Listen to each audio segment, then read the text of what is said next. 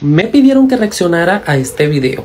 Bueno, podemos ver que pues ya tiene un crecimiento. Es una chica con mucho estilo y bueno, va a comenzar el proceso de decoloración. No recomiendo que lo hagan en casa si no tienen conocimientos.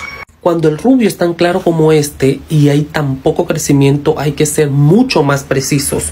No extender el decolorante hacia lo que ya está decolorado como ella lo está haciendo. Hay varias cosas que van a suceder.